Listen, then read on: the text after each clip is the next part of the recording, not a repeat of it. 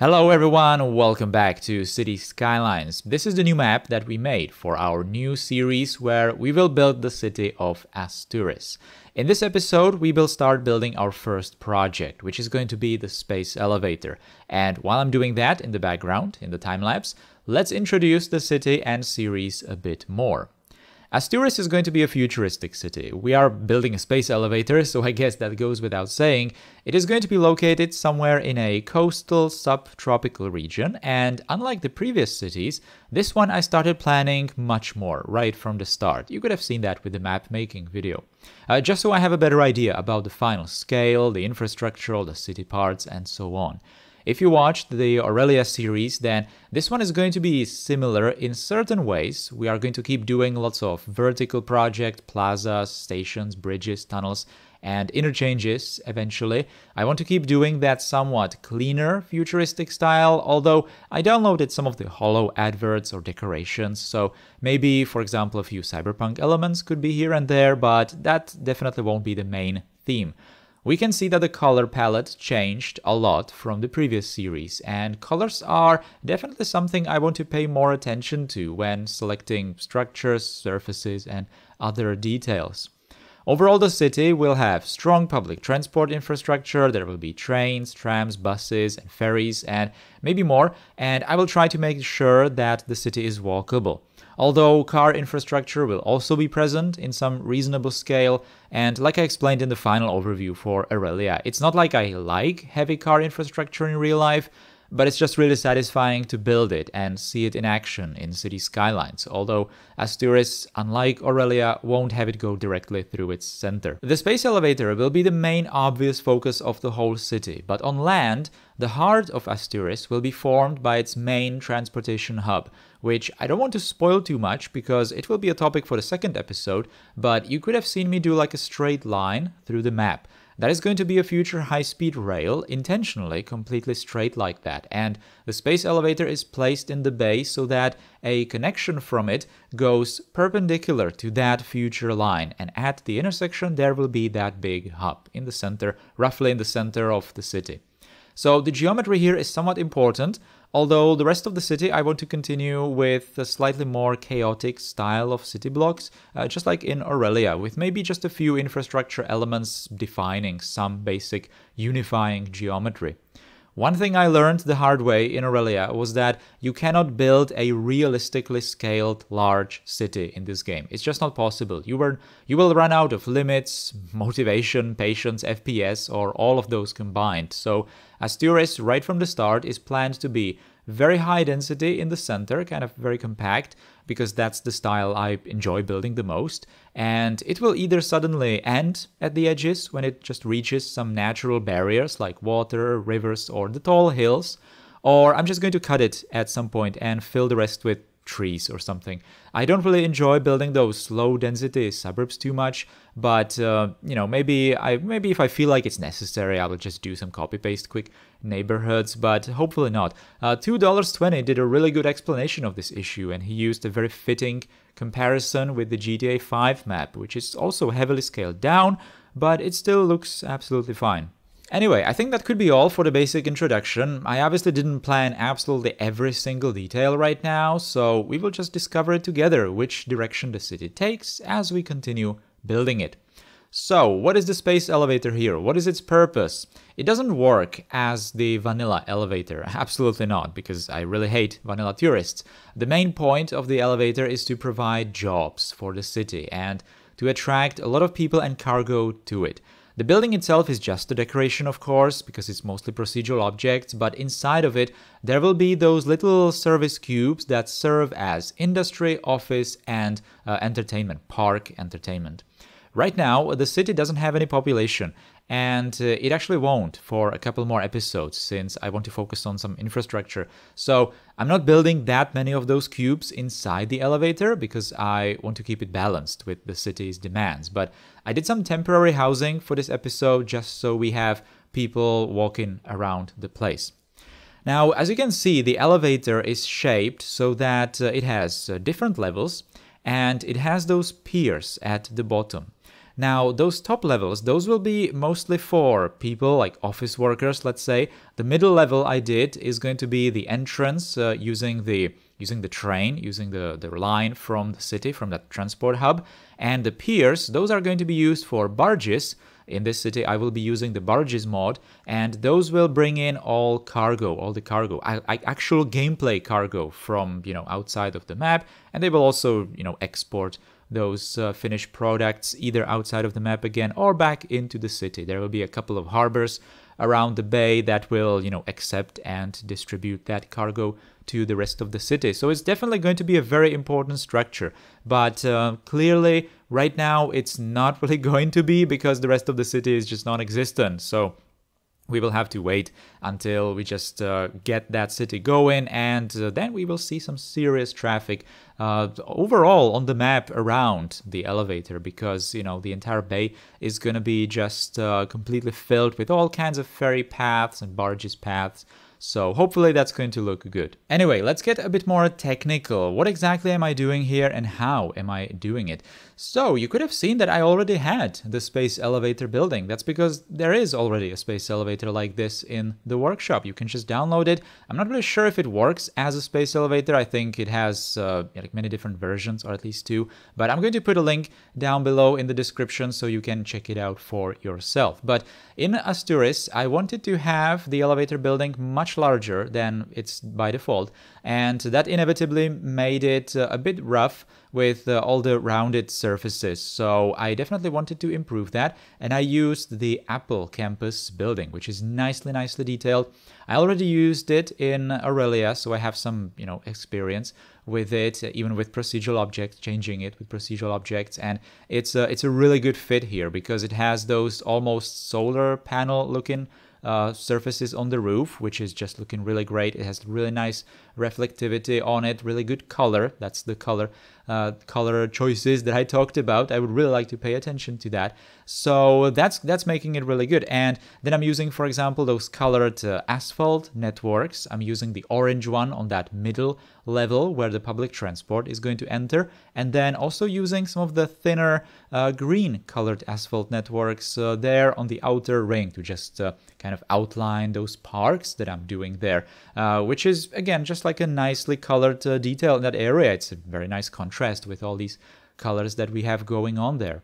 Now this, what I'm doing in here is the functionality bit that I talked about. So I just made uh, with procedural objects a group which I which I just included or I included all the structures for the elevator into it and then I made it hidden so that I can see what I'm doing down below and uh, I'm just using this vanilla road that I uh, customized in the road editor so that it doesn't have the terrain go up towards it but it's still a surface version so that I can have all these little yes you can see them down there those yellows those yellow cubes which are the industrial buildings. I think a single cube is exactly the same as a 4x4 industrial vanilla building, so it has like 20, I think, workspaces.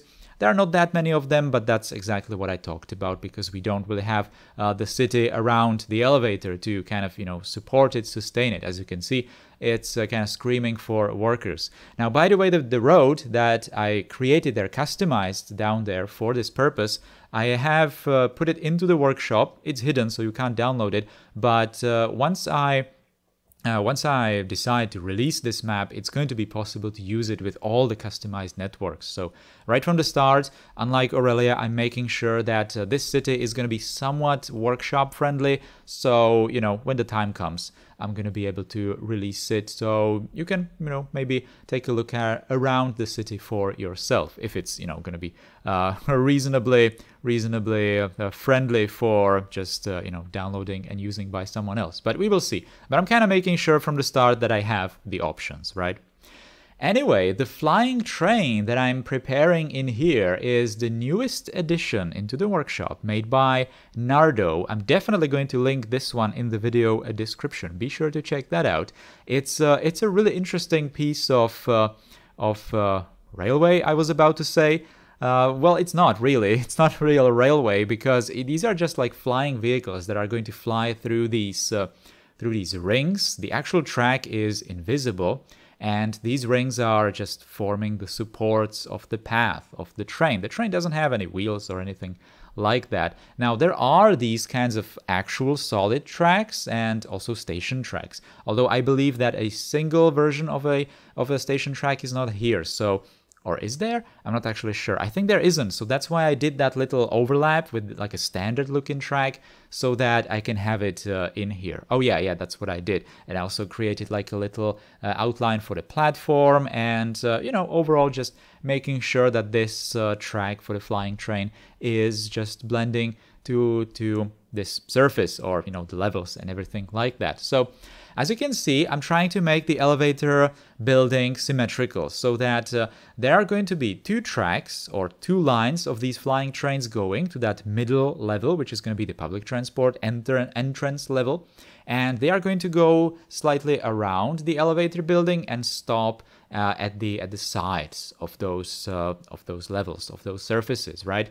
And uh, it's just like a one uh, one lane two way uh, lines. So uh, there's going to be just a single vehicle going back and forth on that line between the elevator and the and uh, the main transportation hub that we are going to do in uh, in episode 2 in the next episode all right so it's not going to be particularly long so only two vehicles are just going to be going back and forth and uh, you know hopefully it's going to be enough. It's going to be absolutely fine. The trains are kind of uh, normally sized so they are like very high capacity options. So it's going to be fine. At this point i didn't have the actual vehicles so i was just using some kind of like a placeholder uh, vehicle for example this one. But this one we will actually see because this is actually the uh, choice i did for the high speed trains. But it's going to be like similarly uh, similar in length. So you know i was just kind of checking it out in here now, one super important thing that I need to do is obviously make it uh, walkable, make it uh, just possible for uh, pedestrians to cross into the different levels. Right now, I'm only doing it so that people can go between this uh, middle level and the bottom level. And I think I might probably keep it that way because uh, really people don't need to go to that very top level because it's all going to be hidden. And if I'm going to include some kind of uh, some kind of office buildings, then I'm probably either going to do it in this middle level, on this orange level, or I, I might as well just uh, slap them down on that road since I already have it there. So that's going to be absolutely fine to do it. It's all going to be hidden inside the elevator building. What matters most is just that uh, the entire area is going to provide the jobs and the industrial manufacturing capacities to bring in the cargo. But where exactly is it going to be inside the procedural object uh, monstrosity that we are building here doesn't really matter. Although it kind of does matter because we obviously don't want to create traffic issues inside of the actual space elevator. Right now it's not an issue, but I have no idea if this is going to be, you know, possible or not. All of these roads I believe are one way, so there's like a like a um, like a way of cars that's going to be just circling around there. So hopefully that's going to be that's going to be fine.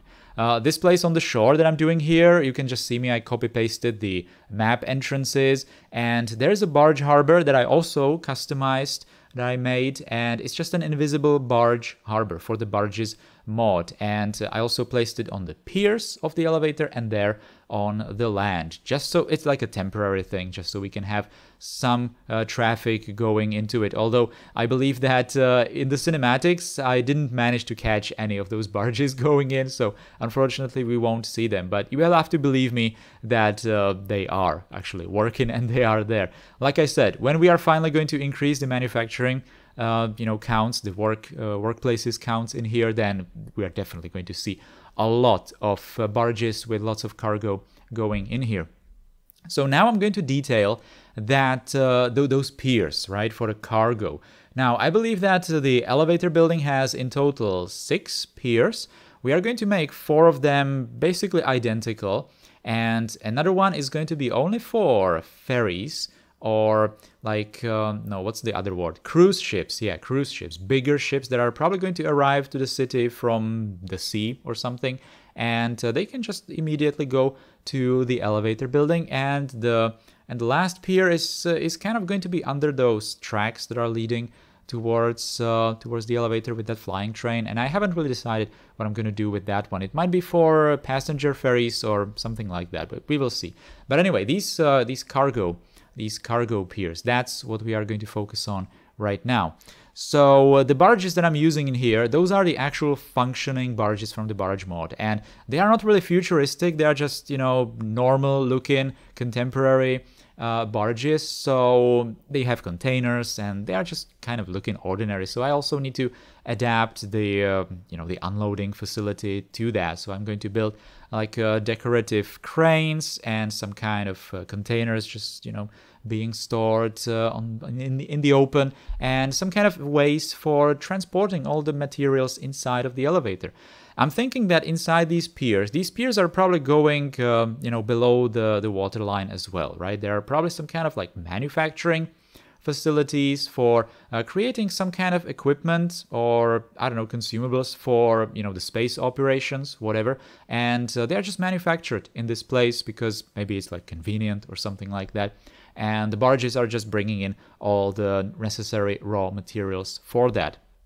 Now, the portion of the unloading facility is probably going to be automated, so I'm not really going to make it that open, not going to make any kind of, uh, you know, places for operators or something like that. These cranes, I'm making them so that uh, they are just going to have that center uh, center support right there. That's going to obviously go on some kind of a rail, and then on the other side, it's going to be there's going to be another rail on the on the edge of that roof of that center building or something.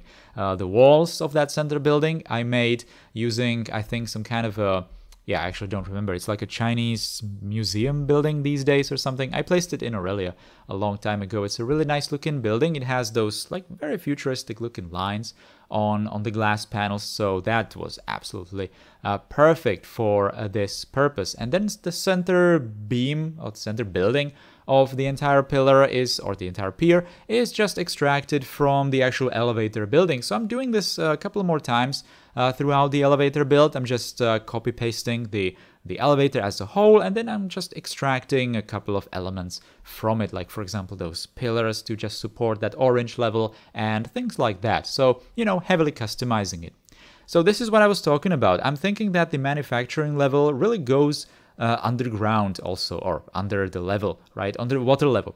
So these are some kind of uh, like entrances uh, through the through the roof where it's just going to open and the crane is just going to lower that uh, container with the materials down below. Now that I think of it, I probably could have animated it at least slightly because now we have procedural objects animations, but uh, but yeah, well, I forgot.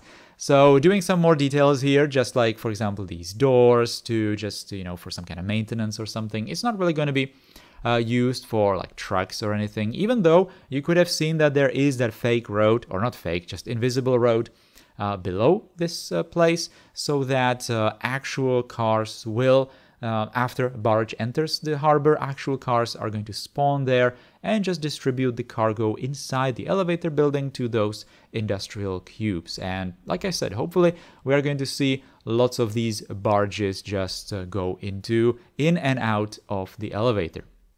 Now, I downloaded a few new container packs and I'm just, you know, using them in here for just decorations, making sure that uh, the place is gonna look uh, reasonably busy with all kinds of cargo. So even using uh, some kind of those like nuclear cans or something.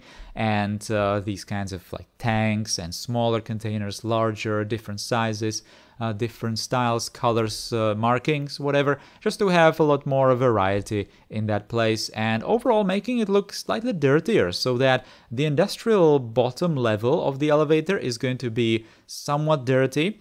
And then uh, that uh, people level uh, well obviously there's that outer level with the parks which is kind of dividing the industry and the people level the orange one which uh, which is much cleaner than this. In here, I'm also using some kind of stains and uh, just making the surfaces, uh, you know, slightly slightly weathered, which is which is definitely a nice contrast. Again, definitely liking it uh, very much. Now, by the way, I just uh, I just remembered that uh, for Asturis, I'm actually going to be using reshade as well. I'm going to be using the levels filter. I I'm not using it right now in here, but you are going to see it in the cinematics. It might be a bit too much, uh, like contrast or whatever, but um, I'm actually kind of liking it. I know it's a bit uh, bit overdone. Probably it's not meant to be like realistic colors, I suppose, but uh, you know it's not a realistic city anyway. We are building a space elevator, so I'm probably going to keep it, although it's it's not set in stone. Maybe things are going to change.